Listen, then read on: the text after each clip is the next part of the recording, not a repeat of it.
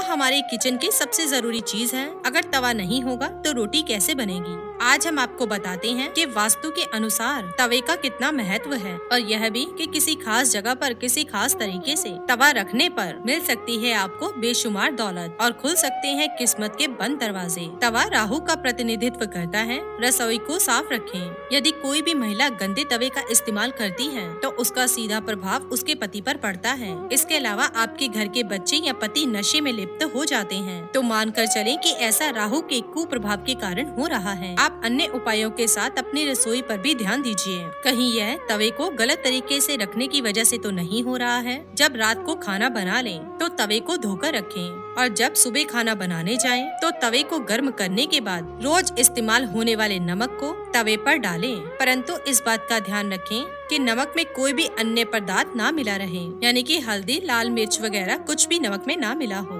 अब इसके बाद सबसे पहले दो या तीन इंच की रोटी बना लें। अब इस रोटी को ऐसी जगह रख दें जहाँ पर कोई जानवर उसे खा सके। ऐसा करने से घर की सारी नकारात्मक ऊर्जा समाप्त हो जाती है और घर में सुख समृद्धि बनी रहती है। घर में जब तवे का उपयोग ना हो तब उसे ऐसे रखें कि, कि वह दिखे नहीं यानी कि अलमारी में बंद करके रखें। खुले में तवे को न रखें। तवे को उल्टा करके कभी न रखें। कभी भी खाना बनने के उपरांत उसे खाली चूल्हे पर न रखा रहने दें। तवे को खाना बनाकर चूल्हे पर से हटा दें। गरम तवे पर कभी भी पानी ना छिड़के। इससे होने वाली छन्न की आवाज़ आपके जीवन में मुश्किलों का शोर पैदा कर सकती है। जब तवा ठंडा हो जाए, तब उस पर नींबू और नमक रगड़ें। इससे तवा चमकदार तो होगा ही और आपकी किस्मत भी चमक जाएगी। तवे को साफ़ करने के लिए कभी भी उसे तीखी चीज़ से खुरचे नहीं। अगर तवे पर कुछ चिपक गया है तो उस पर पानी डालकर उस चीज़ को गला लीजिए। बाद में आहिस्ता से उस चिपकी हुई सामग्री को हटा दीजिए। तवे को कभी भी झूठा ना करें और न ही तवे को झूठे हाथ से छुएँ। और न ही तवे पर कोई झूठी सामग्री रखें। और तवे को कभी भी झूठे बर्तनों के साथ ना रखें। घर में तवे की स्वच्छता का जितना ध्यान रखा जाएगा, धन के आगमन के रास्ते उतने ही आसान होंगे।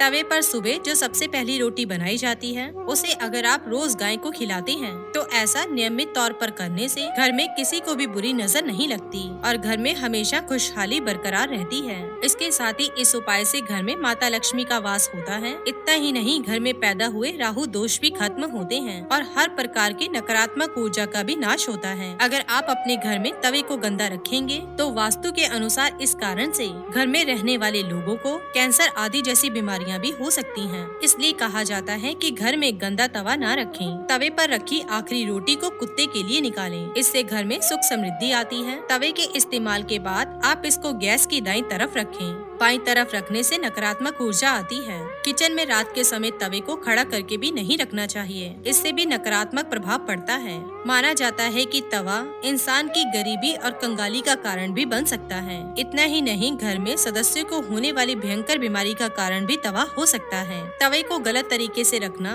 और गलत तरीके से इस्तेमाल करने से राहु संबंधित दोष उत्पन्न हो सकते हैं, जिसके चलते आपको समाज में मान सम्मान की हानि हो सकती है। घर में गरीबी का निवास हो सकता है। अगर आप भी राहु दोष को खत्म करना चाहते हैं और अपने घर में सुख समृद्धि को बनाए रखना चाहते हैं तो तवे से जुड़ी इन सभी बातों का आप ज़रूर ख्याल रखें। इसी के साथ ही दोस्तों, अगर आपको ये वीडियो पसंद आया हो तो इसे आप लाइक कीजिए, अपने दोस्तों, रिश्तेदारों के साथ शेयर कीजिए और सब्सक्राइब कीजिए। साथ ही साथ बेल आइकन को प्रेस करें ताकि नया नोटिफिकेशन आप तक सबसे पहले पहुँच सके। धन्यवाद दोस्तों। इसी के साथ ही दोस्तों, अगर आपको ये वीडियो पसंद आया हो तो इसे आप लाइक कीजिए, अपने दोस्तों, रिश्तेदारों के साथ शेयर कीजिए और सब्सक्राइब कीजिए। साथ ही साथ बेल आइकन को प्रेस करें ताकि नया नोटिफिकेशन आप तक सबसे पहले पहुँच सके। धन्यवाद दोस्तों।